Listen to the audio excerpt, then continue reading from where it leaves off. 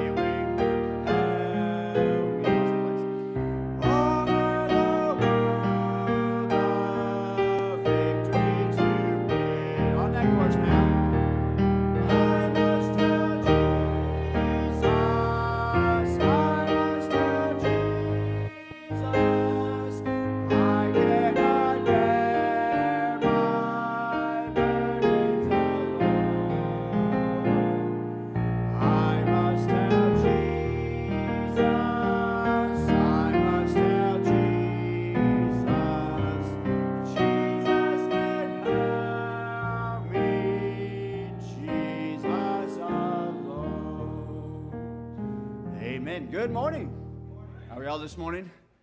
I know the men, the men, yeah, the chili. The men probably slept quite well last night.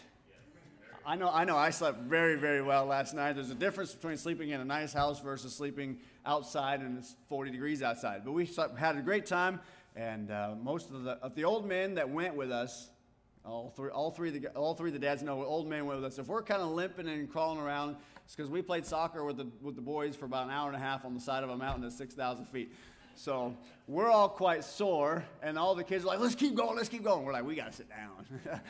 and so we had a great time yesterday at the Men and Boys Camp Out. The last two days at the Men and Boys Camp Out, had some good time. Got to hike up to the top of, what was that mountain that we climbed to the top of? Do you remember? The highest peak there. What was, what was, what was that? How, what, was, what, was, what was the name of that mountain? We climbed to the very top of the, with the, with the Mountain Union. Climbing to the top of Mountain Union, the tallest peak in uh, Yavapai County and uh, it was pretty quite quite good views. We could see the fire. We could see the burning fire from a, ways off from the different forest fires and things like that. They didn't come close to us, praise the Lord. Uh, but we had a good time with that as well. Some good time of fellowship, good time around God's Word as well. And uh, we had some singing that night and all those kind of things. Had some good food, had some good grilling and all those kind of things. That's what men like to do. They grill steaks and hamburgers and hot dogs and all the good man stuff. And we had, ate all of that good stuff as well. And so we're going to have a video presentation uh, after, our, after our morning service. We'll let you see that and let, all the, let everybody see what happened and I'll let all the ladies know that we survived and we, are okay and everything like that. And so had a good time with that. Also, included with that is the youth rally. I also added the youth rally. So you'll get to see uh, some pictures and things of the youth rally as well and all of those kind of things. Uh, so looking forward to that. So we'll do that right after the morning service, and then we'll break out. And we have to close those doors because as long as we're smelling that chili now, I'm telling you what, that's that's some good smells right there. And uh, thankful for you. So don't forget, also that's coming up uh, coming up very soon is the um, 15th anniversary revival. Uh, looking forward to that as well. That will be November the 1st through the 3rd. Brother Terry Randolph will be coming to preach for us. I encourage you to mark your calendars for those. Uh, make sure you're available to come on each of those nights. It'll be Sunday morning, Sunday night, Tuesday, uh, Monday night, and then Tuesday night. So make sure you're available for each one of those. Uh, Brother Randolph's a great man of God, be preaching the word for us and and uh, giving us uh, the message that we need to hear for our 15th anniversary revival. Uh, really looking forward to that. Really looking forward to uh, celebrating and worshiping the Lord together with that. And then also, don't forget, November the 15th, we'll have our End Time Sunday. Brother Dick Webster will be here. Uh, he's going to begin in Sunday school. It's going to be a three part series. He'll start in Sunday school, morning service, evening service. They'll tie all together. All three of them will tie all together. And he's working on that and be here for that as well. So don't forget about that. Have lots of different things. And then, of course, November the 22nd, we don't have a slide for that, but that'll be Thanksgiving Sunday. How many of you like turkey? How many of you like cranberry sauce? I love me some cranberry sauce. I found out the other day that the dollar store sells the small cans of cranberry sauce. I thought, man, that's the perfect kind to just sit with a spoon and just have a good time with it. And it's only a dollar. I, so we're going to have some cranberry sauce and things like that, some good stuff. How many of you like mashed potatoes? You like some mashed? You got to have mashed potatoes. What else? I don't know stuffing. I don't like stuffing, but some of y'all like stuffing and gravy, things like that. She's just like serve it all, and uh, we're already hungry. We can already smell the chili, and we're already thinking about Thanksgiving food. So that'll that'll be that'll be that Sunday uh, before Thanksgiving, just like we did last year. We'll have our our evening meal there together as a family with some turkey and dressing and all those kind of things as well. So looking forward to have lots of things going on here at Mountainside Baptist Church, and so make sure you mark all these in your calendar. We're looking forward to being a part of all of those uh, different things. Let's take our text and we'll go back to Galatians, Galatians chapter number two. Galatians chapter number 2 uh, this morning. Galatians chapter number 2, begin reading in verse number 11. Galatians chapter number 2, beginning reading in verse number 11. Galatians chapter 2, beginning reading in verse number 11. But when Peter was come to Antioch, I withstood him to the face because he was to be blamed. For before that certain came from James, he did eat, he did eat with the Gentiles, but when they were come, he withdrew and separated himself, fearing them which were of the circumcision. And the other Jews dissembled likewise with him, insomuch that Barnabas also was carried away with their dissimulation. But when I saw that they walked not uprightly according to the truth of the gospel, I said unto Peter before them all, If thou, being a Jew, livest after the manner of the Gentiles, and not as do the Jews, why compellest thou the Gentiles to live as do the Jews? We who are Jews by nature and not sinners of the Gentiles, knowing that a man is not justified by the works of the law, but by the faith of Jesus Christ, even we have believed in Jesus Christ, that we might be justified by the faith of Christ, and not by the works of the law for by the works of the law shall no flesh be justified. Let's go to the Lord in prayer. Dear Jesus, we thank you so much for the day. Thank you so much for the opportunity we have to uh, worship you and to sing your praises. Thank you so much for this opportunity we have to uh, have some time of fellowship one with another today. We pray you bless our afternoon service as well. We pray, Lord, you'll speak to our hearts this morning and this afternoon. And Lord, I just pray, God, you'll bless our day today. We thank you so much for sending your Son to die on the cross for us that we might have everlasting life. We pray, Lord, you be with our missionaries today. Lord, as they serve you as well in other respective places all around the world. We pray, Lord, to bless our day. Lord, if there's anyone here that does not know you as our Lord and personal Savior, Lord, that they, that they may make their salvation sure before they leave this place. We ask all these things in Jesus' name. Amen. Let's continue singing. Page number 628. Page number 628. My Savior's Love. We'll sing that first, second, and fifth verse. My Savior's Love. That first, second, and fifth verse. Page number 628.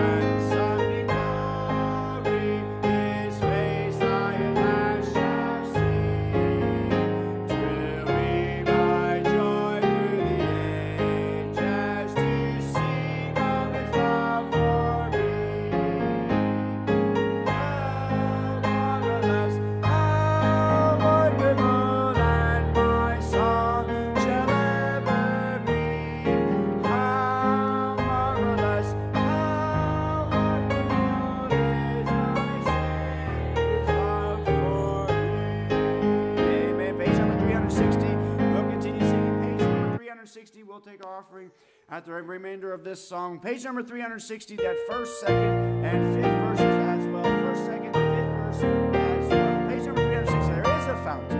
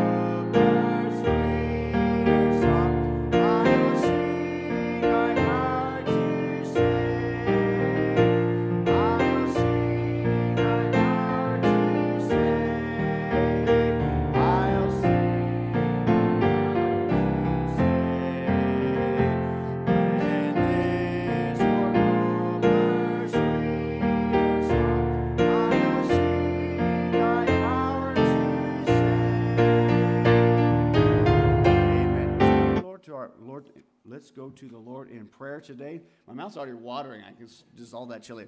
But let's have Brother uh, Luchek, if he will guide our offering this morning.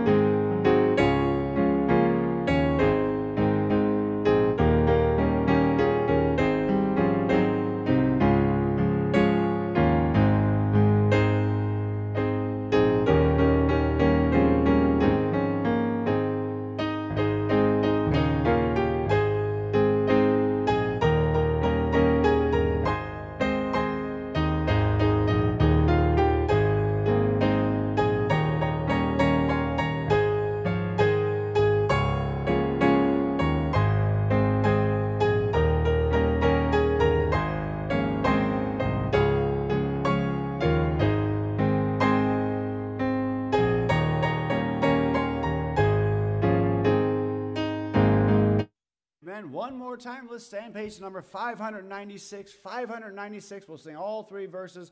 Victory in Jesus. We know this one pretty well. Let's lift it up. very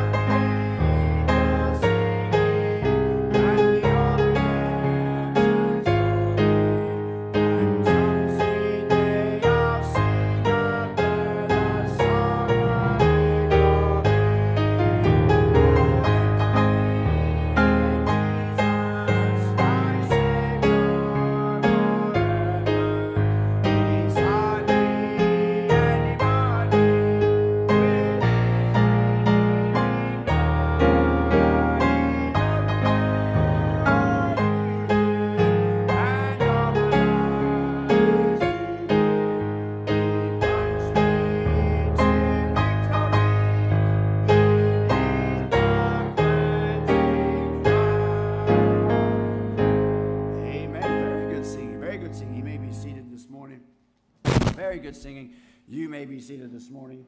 Make sure we're on good. Get the ring out. Junior church, you may be dismissed. Junior church, you may be dismissed at this time. And nursery. Junior church and nursery may be dismissed at this time. I gotta get the new one. I gotta get it memorized in my mind. She's like, uh, yeah. Without her, that's why she's a help me, right? And she helps more than more than normal people do. Right? We're thankful for that. And we're thankful for all of that. Every time that door comes open, this just wafts right in here, just wafts right in here. But we're looking into our text this morning. You know, Paul was an apostle of consistency.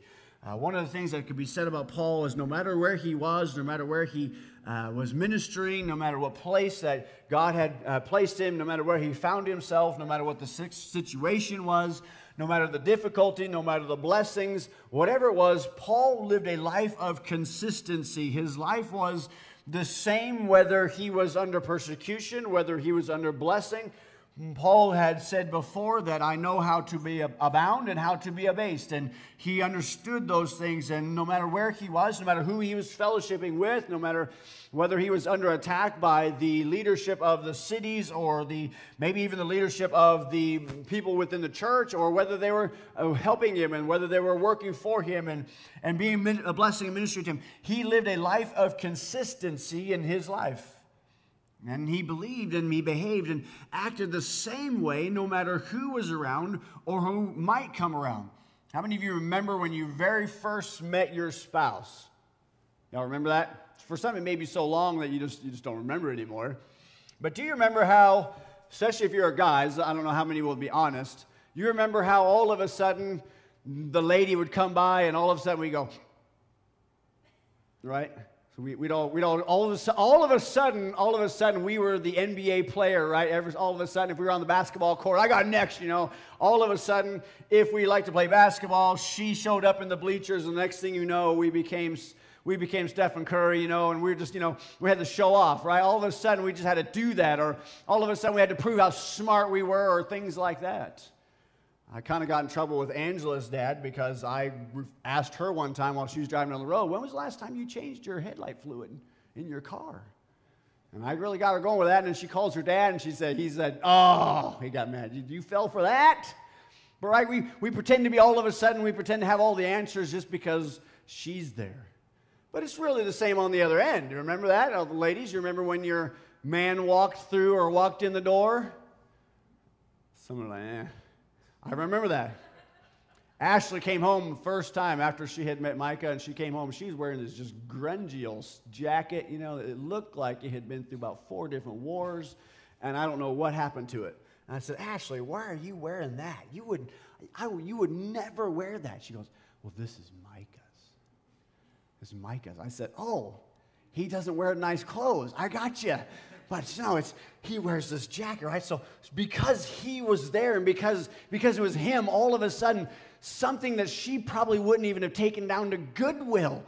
Now, because it's his, all of a sudden it changed, right? All of a sudden her attitude changed, all of a sudden that we can think about this and we could think about how we change and a lot of times how we react differently. We've all been there with the job, and it just seems like we're goofing around the job, and all of a sudden the, the, the, boss comes in and he closes the door, and all of a sudden everybody's back to work again, right? All of a sudden, right? So, so they're not living a consistency. They're, they weren't working before, but just because the boss shows up, now all of a sudden we're working. Now all of a sudden we're, we're trying to put that time in. How many of you have ever been told by your parents to clean your room? And you remember that? Mom and dad leave, and by the time I get home, your room better be clean, right? Remember that? And then all of a sudden we're goofing around, goofing around, and maybe one of us has a window that looks out to the front porch, and the car pulls in, and all of a sudden now it's a mad dash to jam everything we can under the bed or jam in the closet and shove the closet door closed so it looks like it's really clean. When we used to live in North Dakota, we had a little bit of a farm, we had a little farm and we had goats and we raised goats and we milked our own goats. And for about two years, we never drank goats, uh, cow's milk. We drank our own goat's milk and had all that. And so our house was quite a ways down off of the property. It was a couple hundred yards off the property. And so we would always have our instructions or things that we were supposed to get done while mom and dad were gone. And so then, because there's five of us, we always had the lookout. And so the lookout would be watching to make sure so they could, they could see they could see when the car turns onto our driveway. And we understood, we, we, we figured it out. It was about three to five minutes from the time they turn to the time they get to the front porch down that way. And we understood we have three to five minutes to get done everything that we were supposed to get done by the time they get down there. All right, uh, we were the only ones that did that. Okay, all right, I understand that. I understand that. You see, what, what, was, what was happening was we weren't living consistent lives. We would say and pretend that we were good, obedient children, but at the same time, we were trying to connive and work the system, right? We were trying to, we were trying to make it to fit to us. So we wanted to goof around, we wanted to play, but at the same time, we knew there were things to do, but we only reacted or we only acted a certain way when certain people were around or when mom and dad was around. How many of you have ever been told by your parents, now when we go in here, you have to behave, be quiet, right? My, my parents, my favorite thing we went to a mall was fold your hands. So we walked around stores like this. Why? Because kids are grabby, right? They like to touch things, and it's interesting. They never touch the things that can that won't break. It's always the glass jar. It's always the thing. Why are you touching that? That's the one thing. And now it seems like children always want to touch the most expensive thing in the store too. Like if that breaks, we're going to have to go get a personal loan or sell our house to be able to afford it. Why do? Why not touch the rubber ball? Because if you bounce that, then it's, it's, it's 99 cents right? They behave a certain way just because of who is around or, what is happening in a certain area. It's not a life of consistency, but Paul wanted to help us to understand that we as Christians, in our spiritual lives, especially in the way that we live around without the world and around other of God's people, needs to be a life of consistency. It didn't matter if Paul was among Jews or Gentiles, he lived and acted in what the same. The group of men that traveled with him were of both races and were, were Jews and Gentiles. We can see in chapter 2, verses 1 through 5, he, he describes that, that, that Timothy is with them and others that are with them. And it didn't matter who was with Paul or who was fellowshipping with Paul, who was traveling with Paul, he lived a life of consistency. The things that he believed around one group of people was the exact same thing that he believed around another group of people. The way that he lived and acted and spoke and talked was the same no matter who he was with or no matter where he was. He consistently lived the same and believed the same among all of them and practiced his faith around the same among the, any whoever was with him. And Paul explains that though he was a Jew, verse number 15, he did not expect those that were Gentiles among him to live as a Jew. He didn't, he didn't live one way and, well, because this is the way I live, you have to do it the same as well. Nor did he change it the other way around. Nor did he demand that the Gentiles should convert to Judaism or anything like that. Then and that was a problem that was going on in, our, in this society, in this time of, of Christianity, in this time of the early churches. There were different people that believed one thing and they were teaching one thing, and there was no, seemed like there was no consistency sometimes between what different people were teaching and, and what different people were preaching. And there were Jews that were going around who were saved and they knew Jesus Christ, Lord and personal Savior, but they wanted to add to salvation. They wanted to demand that everyone that got saved or that everyone that was in the church became circumcised and began to pick up that of Judaism. They began to teach that circumcision and, and obedience to the law of Moses was, was a part of salvation, was necessary for salvation, so that they would go along and they were preaching and teaching this in different places. They were teaching that they ought to adopt the ritual ceremonies and observe the strict food laws and separate from the Gentiles and, and do those kind of things. But that's not what God was taught from the Word of God. There's only one way to be saved,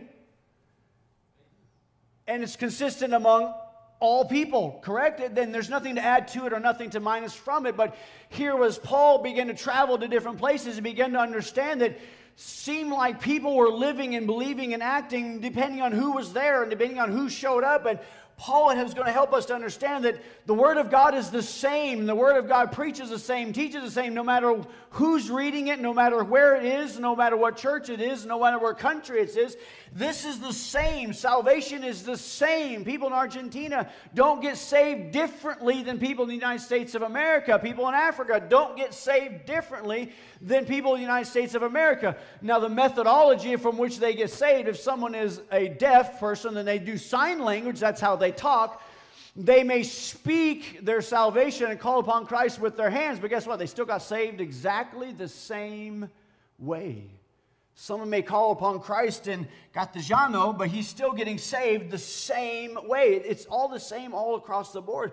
But Paul had begun to see that in different people's Christian lives, no matter where they were, depending who they were around, their, their Christianity, their lifestyle, the way that they lived, was, seemed like it was determined based on who was there and who was not there.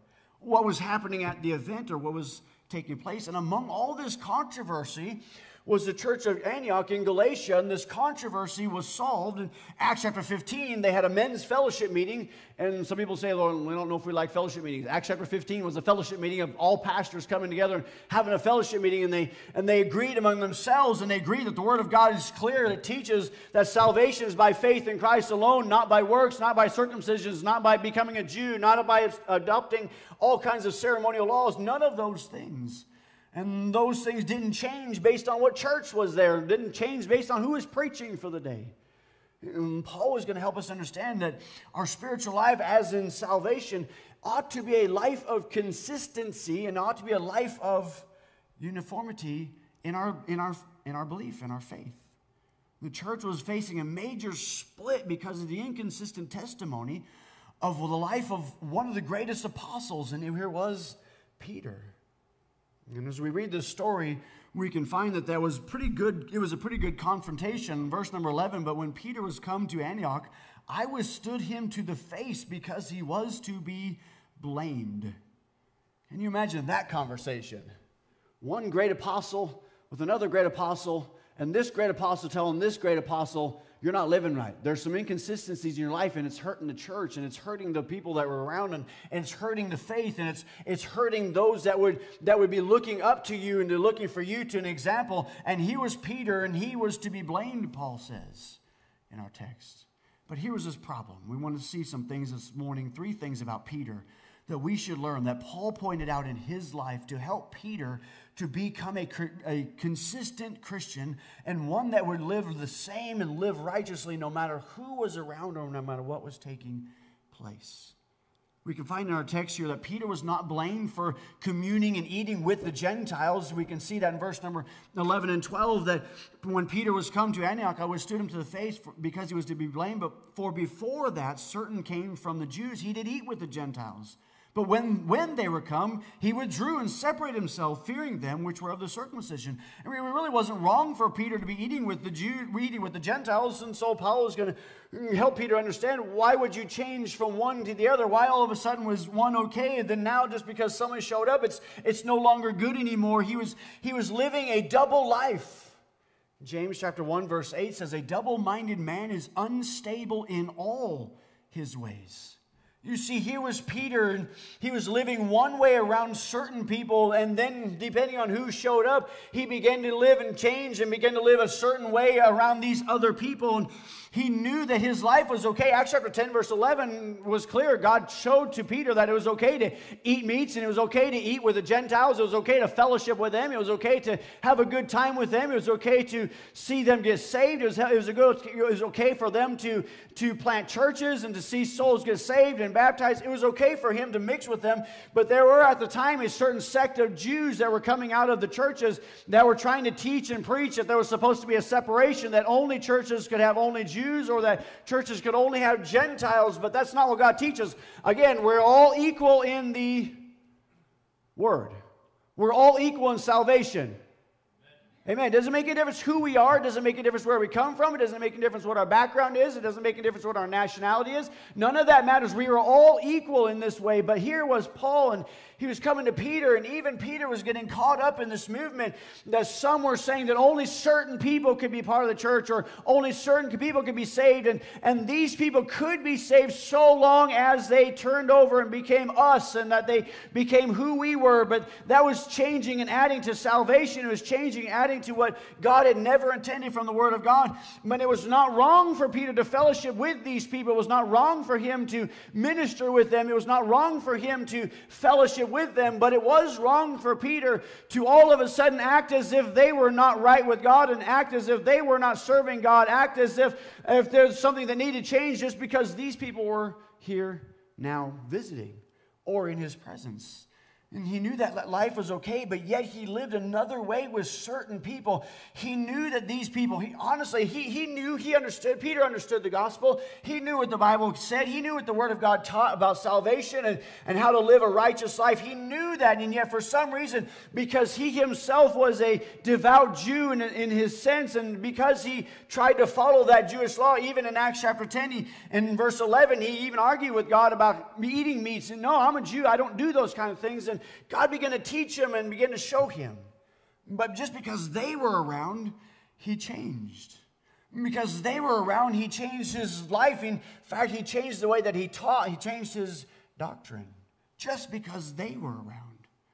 Acts chapter 15, verse 1 through 1 and 5 says, And certain men which came down from Judea taught the brethren and said, Except ye be circumcised after the manner of Moses, ye cannot be saved. They were trying to add to it.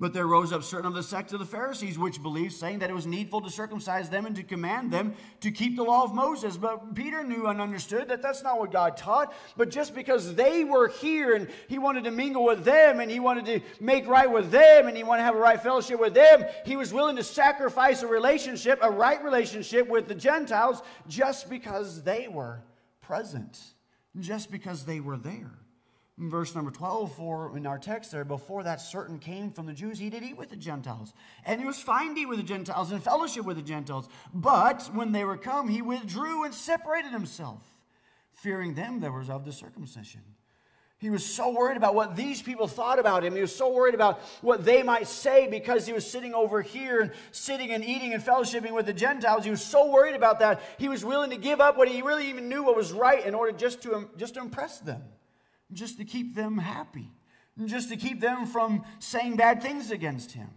He wasn't living a consistent life. He was, Peter was here, he was stuck. He was trying to live a double life. He was trying to live a life to, to appease these people. He was trying to live a life to appease these people. And Paul says we're all of the same salvation. We all get saved the same way. And so there's no reason it's not right for us to live one way and then right for us to live another way around another group of people.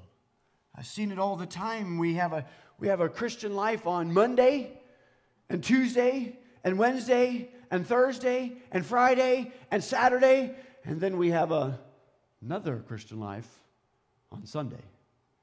We live a different way, right? Because we know who's going to be there.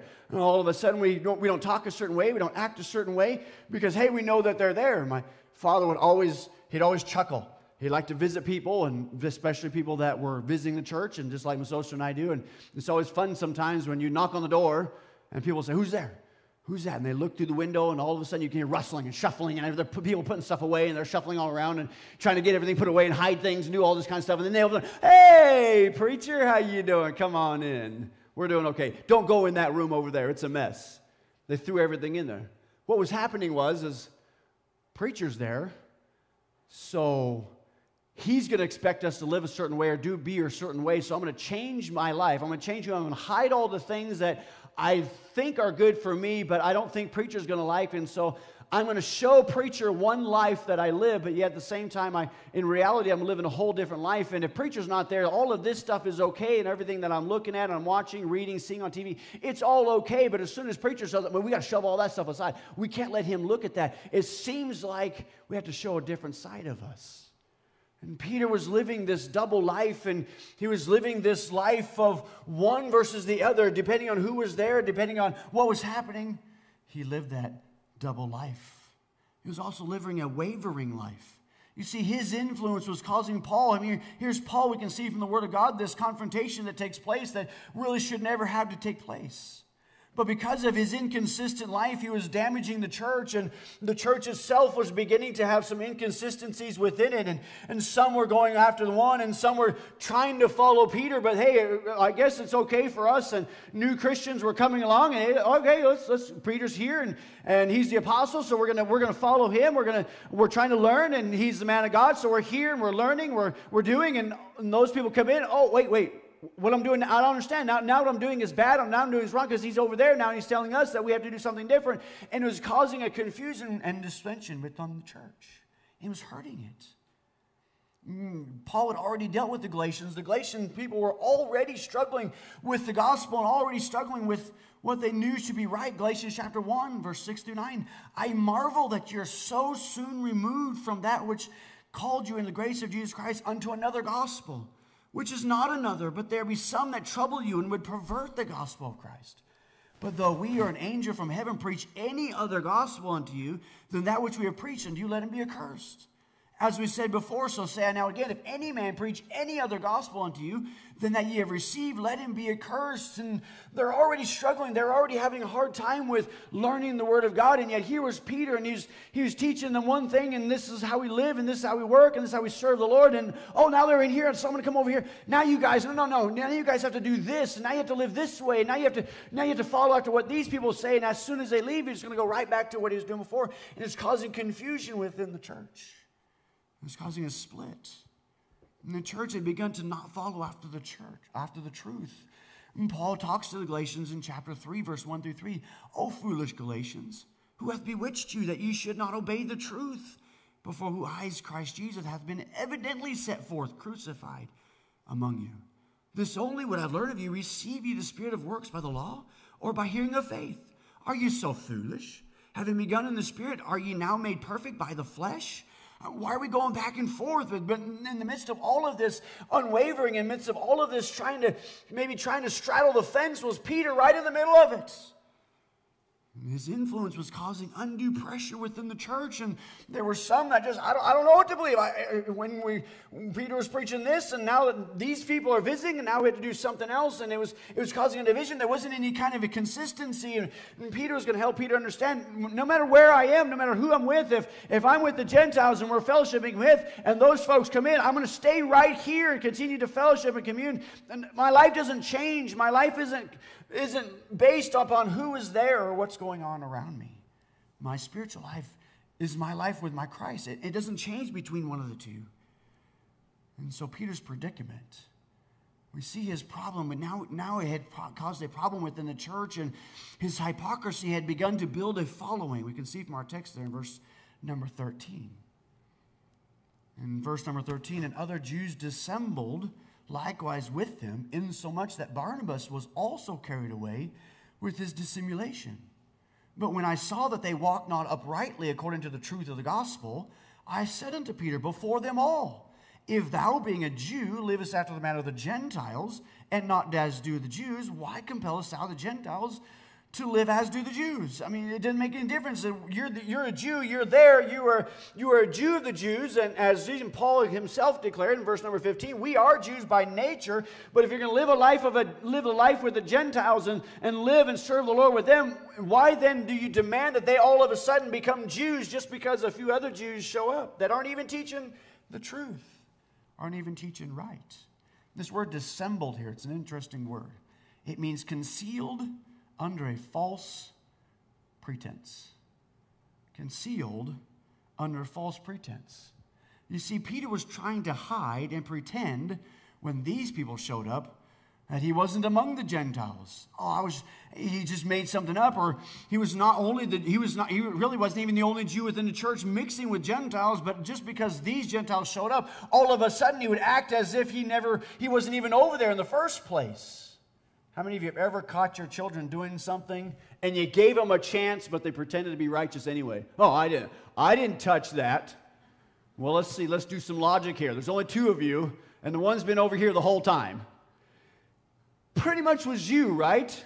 No, he's, he's, he was, he was, he was dissembling, right? Your, your, child was dissembling. He was, he was concealing his truth under a false, a false appearance. He was trying to hide what was really the truth, and he was trying to hide what was really what was going on. And here was, here was Peter he was allowing the Jewish influence of the church and those that were coming in to influence and change the way that he knew he really was in his life. And the truth was, he really did enjoy fellowshipping with the Gentiles. He, he really did see life, seeing them and get saved. He was really having a good time seeing them grow and seeing the churches grow and see these Gentile churches grow. But yet, somehow or another, he was so worried about what someone else thought about him and so worried about how they might judge him that he was willing to sacrifice that relationship with these people sacrifice what he knew to be the truth in order just to impress and just to make these people happy. He was willing to dissemble himself. He was willing to live under these people and to conceal under false appearance who he really was. And he was Peter was trying to pretend well, when these people were around, that he was some sort of devout Jew. At the same time, these people, they knew the difference. And then while he was pretending to be a devout Jew, he demanded that these people become Jews. And they're over there going, I don't, I don't get it. I don't understand. How, why all of a sudden do we have to become Jews just because they show up? I, I don't understand that. I don't understand. Why do I have to now all of a sudden live differently just, just because they showed up? Shouldn't we just live consistently all the time? Shouldn't we just live the same all the time? If the truth is the truth and you've taught that this is the truth and you've taught the way that we're doing is fine and it's good and it's good, how come all of a sudden it changes just because they show up, just, just, just because they bring it? And, from what we can see from the Word of God, Paul, he's helping us understand what they're teaching is false doctrine and it's not even true according to the Word of God. But yet, just because they show up, now all of a sudden we, we have to do that. We have to abandon what we know just, just to impress these people over here.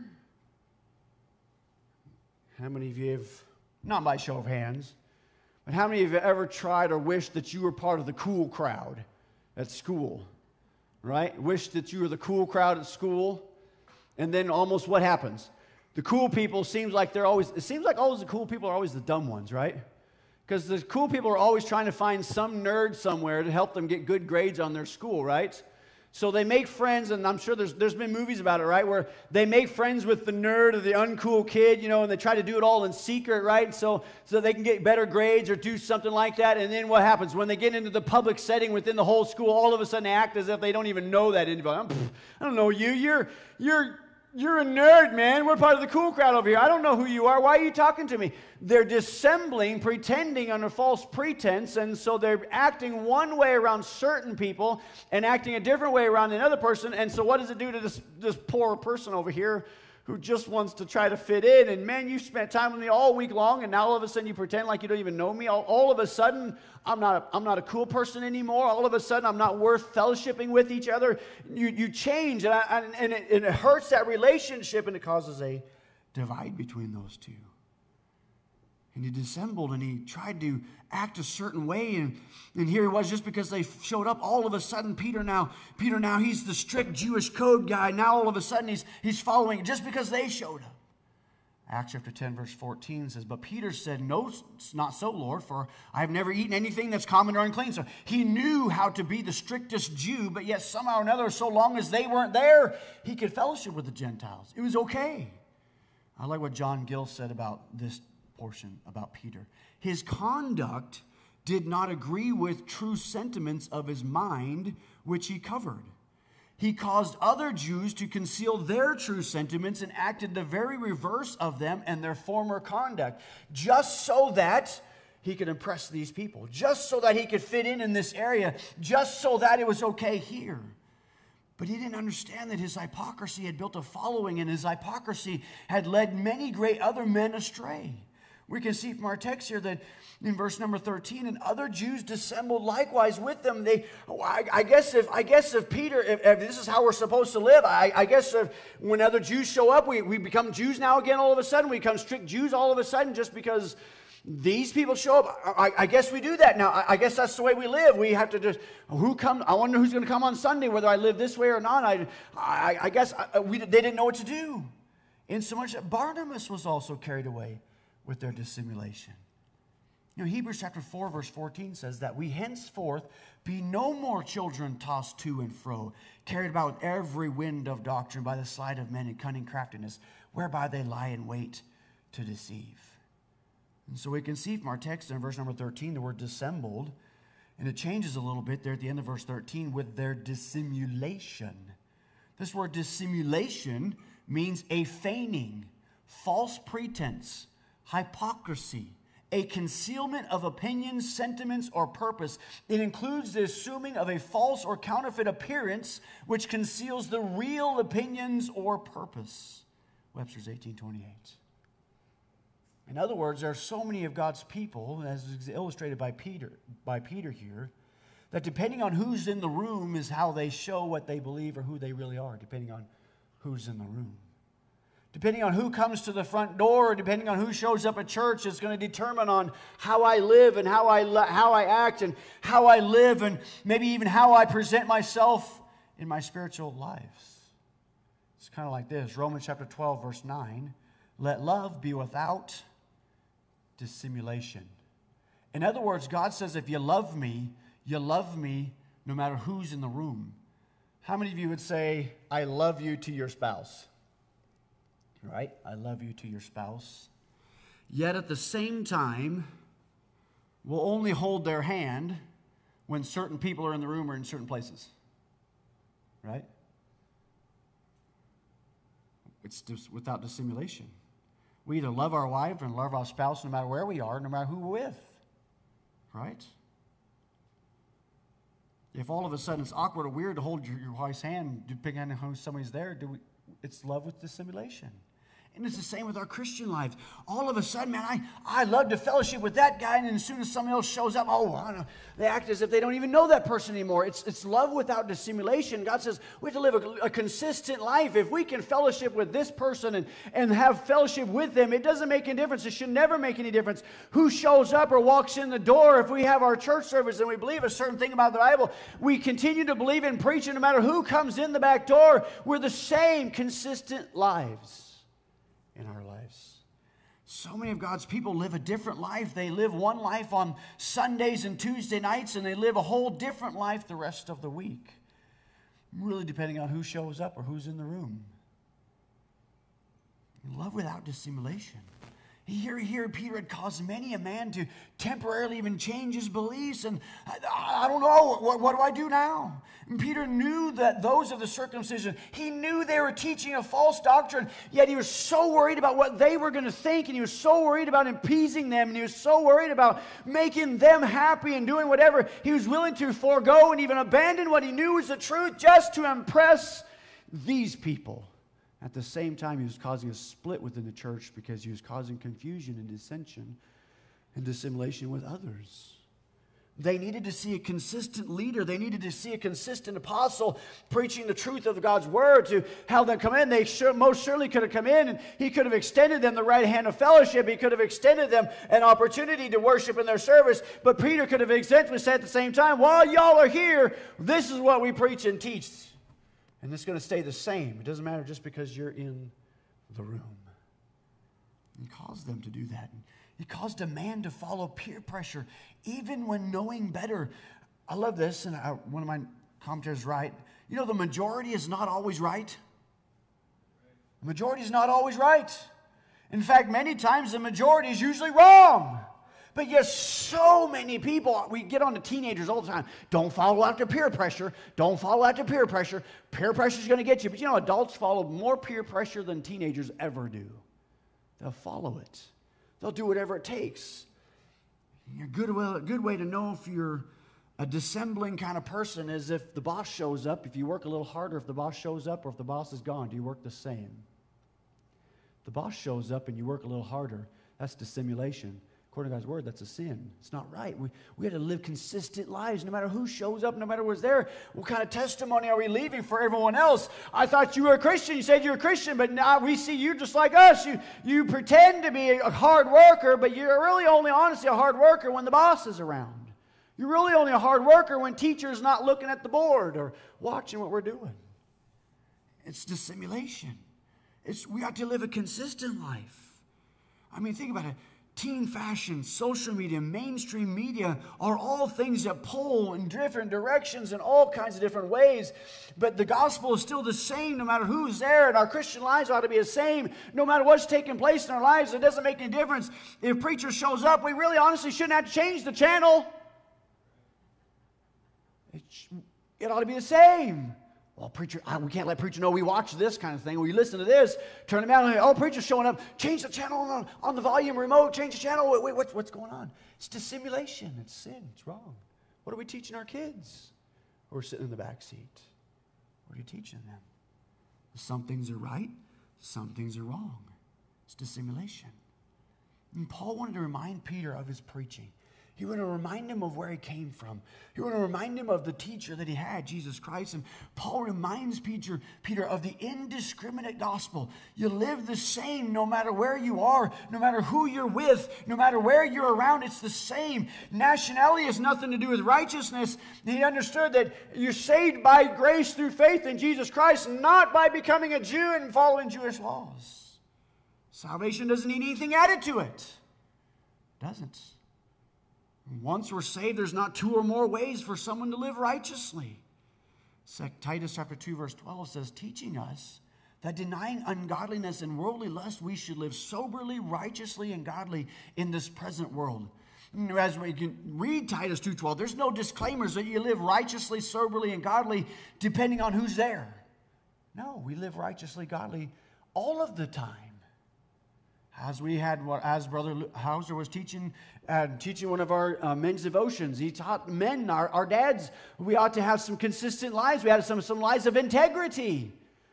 And his son defined it great. Integrity is doing right no matter who's around. That's living a life of consistency, not living a life of dissimulation or dissembling others around us.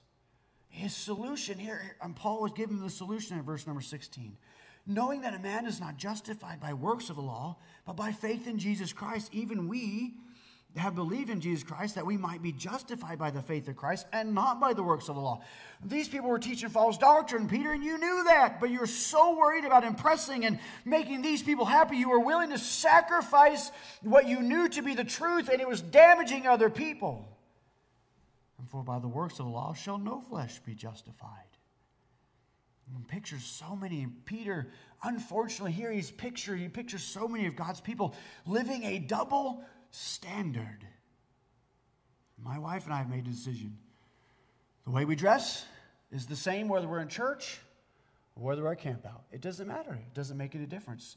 The music that we live, listen to is the same at church that we listen to throughout the week. Mm, the things that we do in our lives are the same. It doesn't matter. I don't, dis- I don't decide. I don't, I don't I don't pray and say, Lord, give me a message. Well, let's see. I don't know who's going to be coming to church this morning. Do I want to preach that or do I want to kind of change it because I know who's going to preach the next day? We wouldn't want that at all from our preacher. We want him to preach the truth no matter who's in the auditorium. So many live different lives. Live two different lives. Many Christians are living two lives. They're, they have their church life and they have their week life. How they live and act depends on who's around them or who shows up well, this we're gonna have a birthday party, but we've invited all the church kids, so we gotta we have a we're gonna have a different birthday party than we normally do because there's gonna be church kids there. It's dissimulation. It's living a double life. It's living a double standard. It's dissimulation. It's sin. God says we live consistently.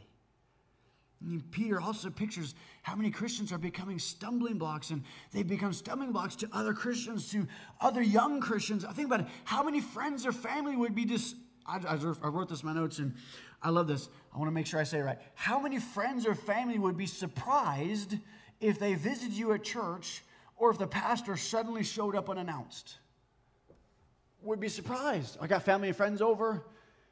Preacher shows up. Oh, that's, oh, that's your pastor coming. Oh, all of a sudden now I'm in a quandary. I've, I've, been doing this, this, and this. Now preacher's here, but I, I, can't let preacher see what I'm doing with these people. So you know what I'll do? I'll go out and pre- hang on, preacher. I'll open the door, step out, close the door behind me. How you doing, preacher? I want to fellowship yeah? What's really happening is there's something inside the house I don't want preacher to see that I'm participating in, I'm doing, but I don't want him to see it. So I'm going to stand out here and pretend to be a little more righteous than what I was doing inside there. So I don't want, and I don't want those people to see that I'm fellowshipping with the preacher because when I go back in there, they're going to understand, hey, he's, he was, that was, that was his preacher. I, I, that doesn't even make sense. And so let's close the door. Let's have some little dissimulation. Let's have a, let's live a little bit of a different life between here and there. And it's interesting that in this world today, Christians, Christians expect their pastor and they expect their staff to live a certain way, to dress a certain way, to listen to certain music, and be completely faithful to church, and they should. Amen. Hey, next Sunday we don't have to be here. That's good. I guess you're teaching us the next Sunday morning. We expect that. We expect the preacher and we expect his family to be consistently faithful all the time. We expect preacher to always be preacher. We always we expect that, right? We expect that all the time. We expect that when, when he comes to visit us in the hospital, he's he's preacher, he's pastor, right? We, we expect that all the time. Can you imagine if one Sunday it came, well, you know, we're doing chili cook off, we're just kind of relaxed today and having a good time. If I stepped up into this pulpit wearing jeans and a golf shirt, How many of you be going, oh, what is going on with Brother Oster? What's going on? I will just just let you know, I'll always be up here in a suit and tie. Well, we expect that. We expect our missionaries to be consistently faithful. We don't. We expect our missionaries to send prayer letters. We expect missionaries to come back and make these, and make their make their reports and say we planted this church and this church has been planted and we these men are being trained and this church are, going to be sent out and these young men are being sent. We expect a certain lifestyle, a certain attitude from our missionaries. And when we go visit missionaries on the foreign field, we expect them to just continue to be missionaries and watch their fields and do their works. And we don't expect them. We expect them to be missionaries. But yet, the same life, it seems like so many of God's people, as in Peter, have expectations for others. And if they're there, we'll live that way. But other times we want to live this way, but yet we still expect them to live the way that we expect them to live. And if we're over here, we demand these people be just like us just because, hey, we're, we're around preacher now. We have to act a certain way. Preacher's coming over, guys. You guys gotta you guys don't, don't be on your phone while preacher's here. We live a different way. Many Christians, unfortunately, are living lives of dissimulation. They pretend to be righteous on the weekend and yet live a completely different life the rest of the week. At the same time, they're, that's happening, they're expecting others to maintain the weekend life. But one cannot expect others to live one way that they themselves do not want to live. Here's Peter. Paul is telling Peter, you, you, you're around these Gentiles and you're helping them to grow, and yet you demand that they live differently just because this individual or these individuals show up. And it's especially bad when you know that they're even teaching false doctrine, that they're teaching something that's not true. Christians are living dissembled lives. Think about this way, and we'll wrap that up. Imagine if Pete, pastor and his wife dressed and were faithful and posted on social media like the rest, what would we say? Imagine it. Think about it. Many are living around the world one way and another way around God's people, all requiring that those people remain godly. We expect the preacher and his, his family, missionaries, we expect them to remain godly. And yet, we can live a different way when we're not with preacher or around preacher, we can live a different life. We can live a, diff- a different life completely. It's a dissembled life. It's not right. It's not godly. Many of God's people watch all kinds of movies that if preacher was there, we, oh, we can't let him see that one. That's I know it's our favorite movie, but we can't let him see that we watched that one. Those TV shows, make sure we DVR it so we can watch it when we know no one else is going to be there to watch it with us. Those magazines, y'all remember magazines? I think they still have magazines nowadays. Do they still have magazines? Are they still here? Websites. Got to make sure we keep that. We got to make sure we keep that history cleared because you never know who might click on that computer screen. Keep it cleared. Jokes are funny depending on who's around, right? I know the Bible says we shouldn't be drinking alcohol, so as long as preacher doesn't know it's in here, we'll keep the cans in the backyard somewhere so he can't smell or hear them or see them. Smoking, etc. It's amazing, and all of it becomes bad depending on who is around or who shows up or what day of week it is. And as Paul told Peter, and as he lived his life as the example by the power of the Holy Spirit, we ought to live the same way we expect others to live, no matter who is present, no matter who is there. I don't have, I, I use a little USB. I don't have, I don't have CDs or I don't listen to radio or anything like that. I just have a little USB of the music that we like to listen to. My friends, I don't have a different USB for depending on who's going to be sitting in my car with me. I took the teenagers to the youth rally. I didn't put youth rally music in there so that preacher could have his testimony while that t- the same exact music. I got in the car and listened to what I listened to all the time. It's the same. It was the same.